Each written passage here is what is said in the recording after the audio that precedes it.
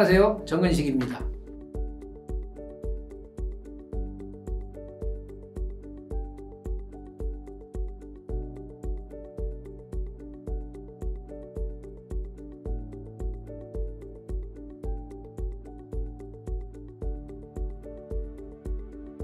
제가 그 이 동아시아에 관한 본격적인 관심을 갖게 된 것은 1998년도 어, 제주에서 열렸던 제2회 동아시아 평화인권 국제회의라고 하는 거였어요. 그때 당시에 이 제주 4.3 50주년 기념 학술대회였는데 그게 이제 바로 그 제주 4.3의 진실을 밝혀내고 그것에 기초해서 그 희생자들에 대한 명예를 회복해야 한다라고 하는 그런 여론이 막 상승하던 그런 시기였는데 그 98년도 동아시아 평화인권 국제학술회의에서 그런 제주도 문제뿐만 아니라 동아시아에 있던 여러 가지 다양한 그 국가 폭력의 문제라고 하는 것들을 제가 알게 되었어요. 그리고 나서 한 대여섯 번의 그 국제 학술 회의를 했는데 제가 그때 한국 측 사무국장이었어요.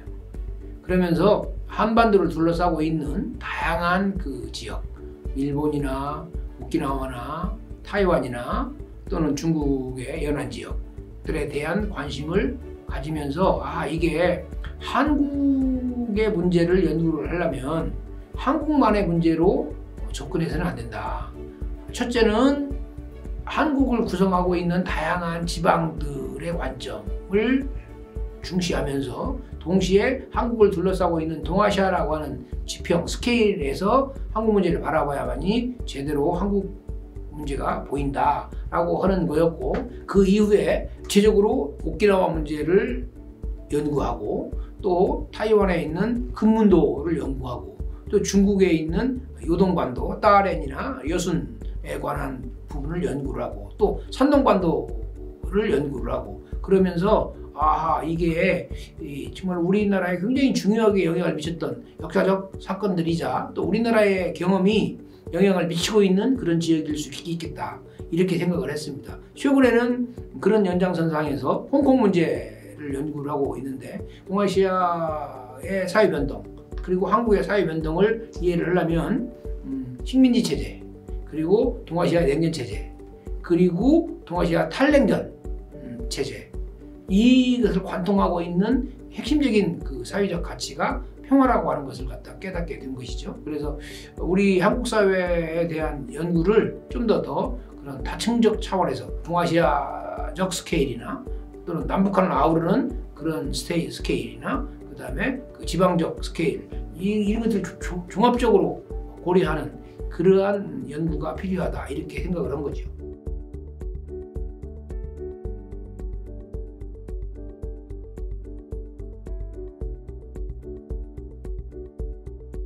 저는 그 이 사회적 소수자에 대한 관심은 처음 1992년, 91년 무렵에 섬 연구로부터 시작했어요.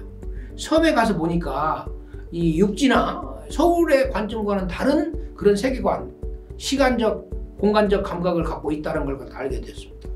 그러다가 1994년부터 어, 한세인들에 대한 연구를 시작을 했어요. 제가 이제 미국에 있을 때 과거 식민지 시대에 한국에서 그 한센병, 나병 선교를 했던 분들의 자제들을 만나서 과거에 어떤 방식으로 활동을 했는가를 조사를 했고 제가 이제 한국에 돌아와서 본격적으로 어, 한국 한센병사에 관한 연구를 시작을 하면서 아, 이 사회적 소수자의 관점 그리고 그들이 갖고 있는 어떤 트라우마에 대한 치유의 문제 이런 것들을 갖다 관심을 갖게 되었지요. 그러면서 이제 이 사회적 소수자 특히 한센인 문제는 일제시대에 시작됐고 일본의 한센병 정책과 조선에서의 한센병 정책이 어떻게 갖고 달랐을까 이런 것들을 갖다가 연구를 하고 나중에 보니까 그게 바로 대만도 그렇고 어, 필리핀도 그렇고 또는 심지어는 말레이시아도 그렇고 한국이나 일본이나 대만은 전부 일본형 한센병 정책이었다면 필리핀은 미국형 정책이었고 말레이시아는 영국형, 영국형 정책이었거든요.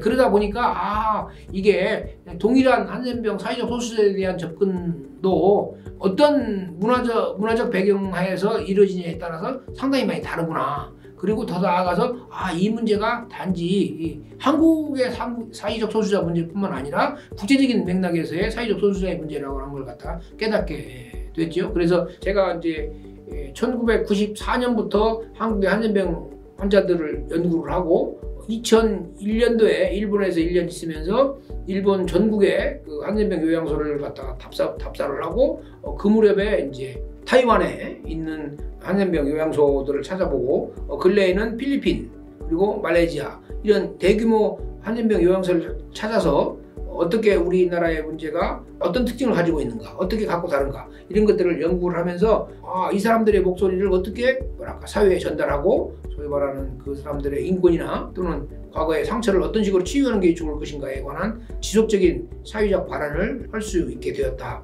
이렇게 생각을 합니다.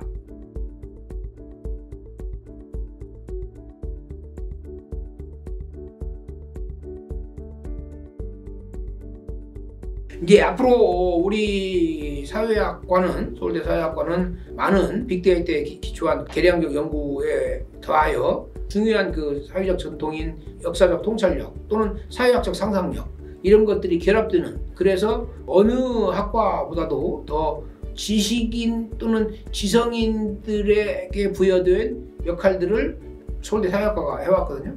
서울대 사회학의 가장 중요한 역사적 전통 중에 하나는 굉장히 중요한 사회적 발언 또는 사회적 지도자들을 갖다가 사회학적 상상력에 기초해서 배출해 왔습니다.